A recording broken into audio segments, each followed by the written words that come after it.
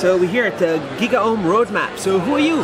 I'm Brady Forrest, and I run Highway One. It's a San Francisco-based hardware incubator with ties to Shenzhen. So what does it mean, uh, uh, hardware incubator? Well, so we work with companies that are learning, trying to learn how to manufacture our product. So we have 11 companies in this current cohort. Uh, they all have something that they want to scale up. They all have prototypes, and they all want to figure out how do they go from making one or two to say 10,000, 20,000, 100,000. So, like, people have s- s- special hardware ideas, right? Is that what it is? Yeah. So we have companies that are in the medical space. One person's working on a pain band-aid. Another person's working on another team really is working on a flu testing kit. Another team is working on connected jewelry. Another team is working on a connected scale. So it's possible to do new ideas in Shenzhen. Oh, absolutely. Yeah. So how, how does that work? Well, so these companies, uh, most of them are US based, but some are from Europe, and we're looking for uh, teams from Asia for future ones. Uh, they come to us, they work with us, we have engineers who advise them and help them figure out how to actually get their, their prototype that they made at home ready for production. And then uh, we're going to take them to Shenzhen and give them factory tours so they can kind of understand how things actually get made. Because that, that scaling process is kind of is a mystery to people and that's what we want to enlighten them on. And then most of them, but not necessarily all of them, plan on getting their products made in Shenzhen.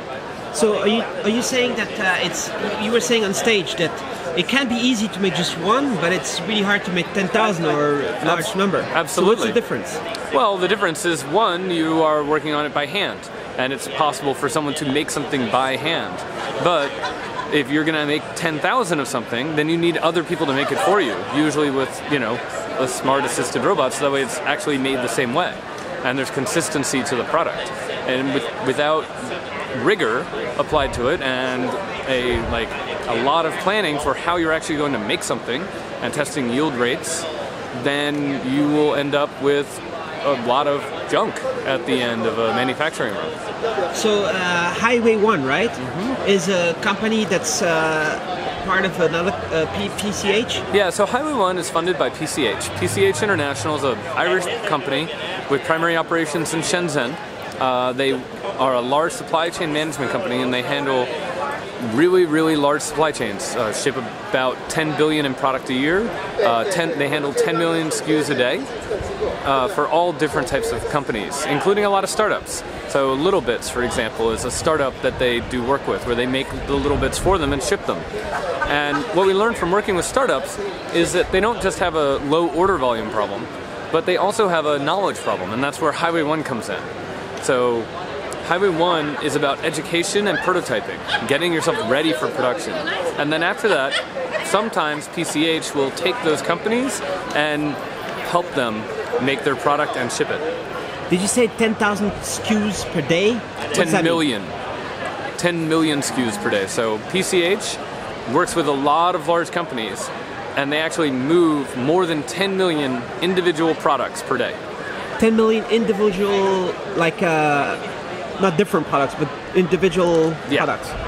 And uh, so, what, you were talking on stage about where do you come from? What, what was your, what were you doing before? Uh, I have a I have an engineering degree from RPI in industrial engineering. I did supply chain management for a while, consulting, and systems integration. Then I went to consumer web, and I ended up at Microsoft, where I worked on what became Bing. And then I went to O'Reilly Media, where I hosted tech conferences, and I started Ignite, which is a geek talk format, an event that spread around the world. I then uh, helped out 500 Startups, which is a incubator and seed fund here in the Valley, and I worked at Khosla Ventures for a while. So, did you say you started Bing? I worked on what became Bing. You worked on what? Well, can you talk about? So I worked on that? MSN Search while I was at Microsoft and back in the very early days. So MSN, you know, it's been around for a long time, I think in the mid 90s. And they used to outsource their results to Inktomi, which was later bought by Yahoo. And in, I believe it was 2003, 2002, 2003, uh, Christopher Payne, who's an executive at Microsoft, former executive at Amazon, went to Bill Gates and Steve Ballmer and said, I want to take on Google and I want to create our own search index. And so I was part of that team that worked on the very beginning of what ended up becoming Bing. So Bing was a later rebranding effort that happened well after I left, but the original kernel of the code and the thinking behind it was part of the team that I worked on. I'm just gonna guess here, but uh, Microsoft makes most of its money licensing software, like Uh-huh, uh, Windows, I guess. Uh, and it hasn't moved that much in the last 10 years, right? Uh, into being more of a cloud company, or has, I mean, Ah, I think I I, mean know. they're making a lot of valiant efforts. I don't think it's really paid off for them financially, but they've you know, you can point to some things like Xbox Live is a true cloud success for them. Azure is starting to get some amount of traction, but Bing, by all accounts, although it's got a lot of traffic and is gaining in search share and the ads are coming around, still is a money loser for them. and uh, maybe it's gaining because it's default, no? When people buy a computer? Maybe. Oh, I'm just part of it. Oh yeah, Yeah. no, that's part of buying traffic. That's what people do. But it's definitely what they need to do, is get into more, making more money on cloud. Well, that's why they did And the maybe- Yahoo deal. yeah. to, to have more people use their search results.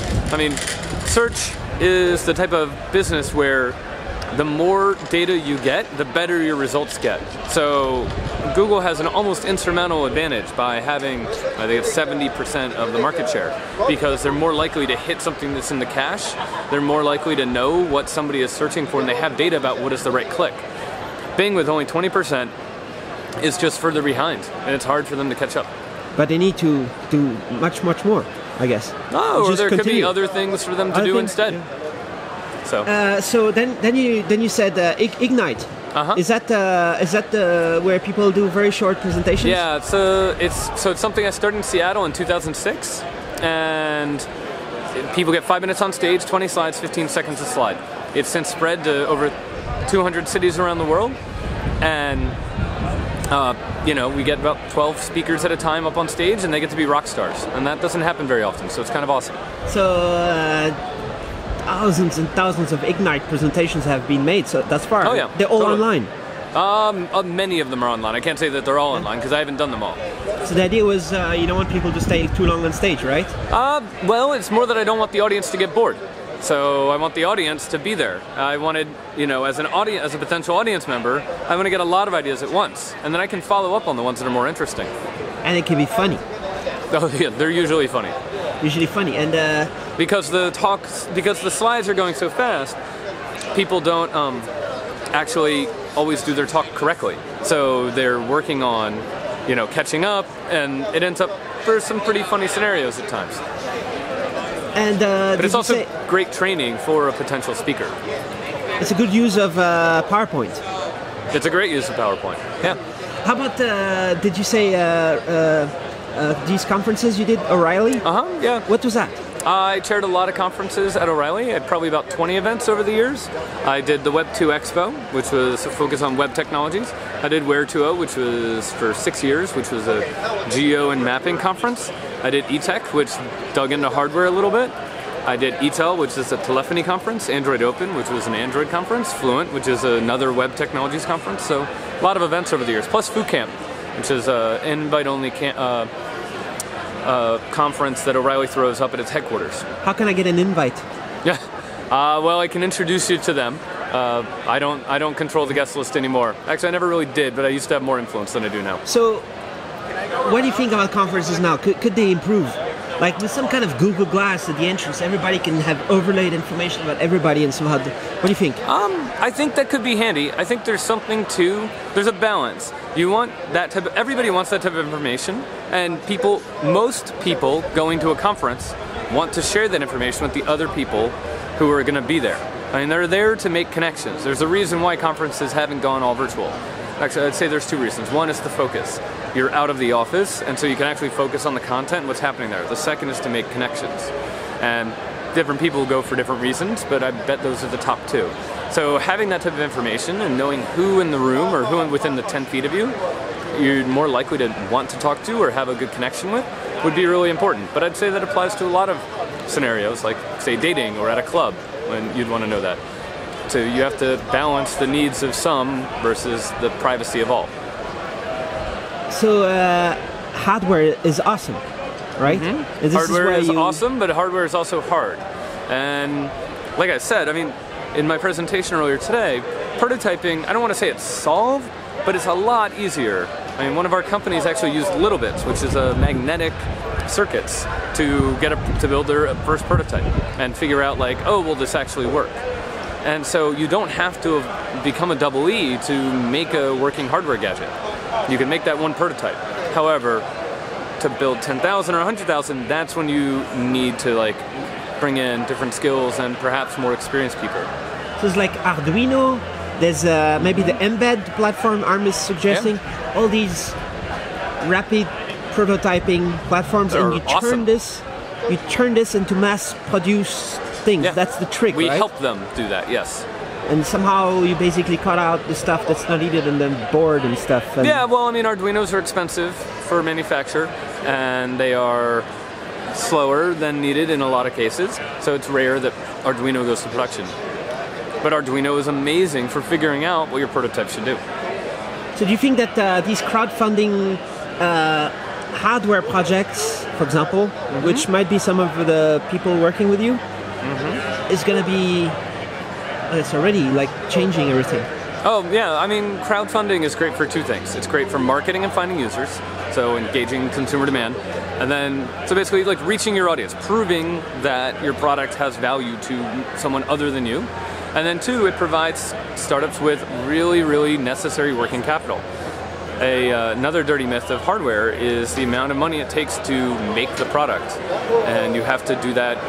You have to convince the company that there's enough business in it for them to for them to take their time to set up the line. Two, you have to fund out months in advance of a product. So you're looking at about 10 weeks worth of inventory that you have to build up, which can be a lot of money for a small startup. All right, so looking forward to see what happens. Thanks, yeah. And our applications for our spring class are open now. You can find it at highway1.io.